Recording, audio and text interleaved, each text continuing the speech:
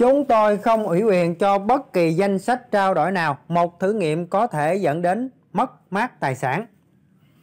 Nhóm B Network Core đã bác bỏ việc niêm yết mã thông báo của nó trên hai sàn giao dịch xt.com và Huobi Global. Cho biết nền tảng này vẫn đang hoạt động trong mạng chính kèm theo và do đó không thể được niêm yết chính thức để giao dịch trên bất kỳ nền tảng nào.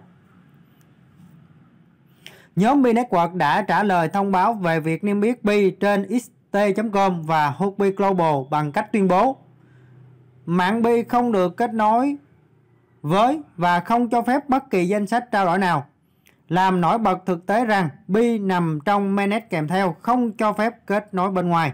Dòng tweet viết Bi nằm trong mainnet kèm theo, không cho phép kết nối bên ngoài. Mạng Bi không liên kết với và không ủy quyền cho bất kỳ danh sách trao đổi nào.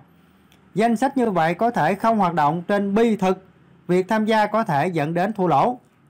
Đây là bài trist trên Twitter các bạn các bạn có thể search chính thức các bạn xem nha đó là bi của Team trả lời luôn các bạn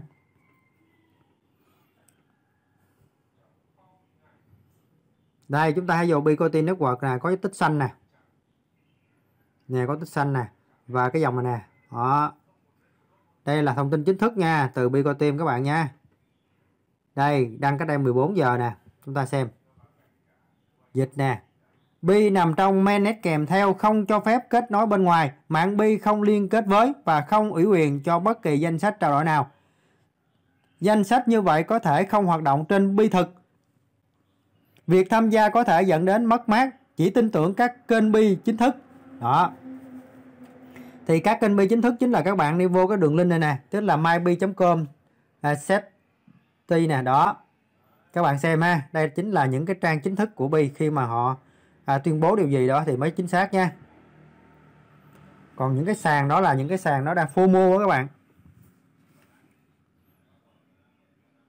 Đó. Rồi tiếp theo chúng ta hãy xem thông tin nữa.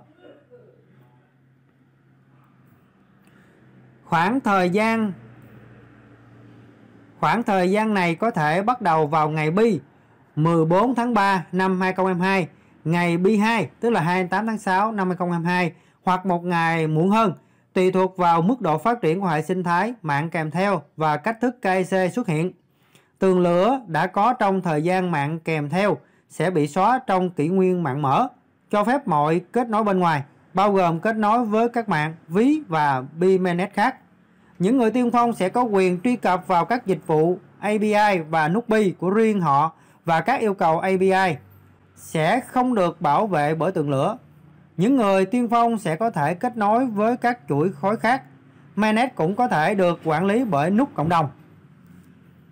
Trong trường hợp bạn không biết, Hubi Global, nền tảng giao dịch tiền điện tử đầu tiên thể hiện sự quan tâm đến việc niêm yết bi đã tích hợp mã thông báo mặc dù mạng chính vẫn chưa được triển khai.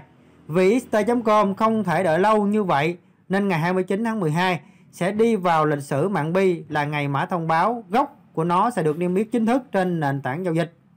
Bitcoin sẽ hoạt động để giao dịch trên trang web vào đúng 3 giờ giờ UTC theo một tuyên bố từ nền tảng.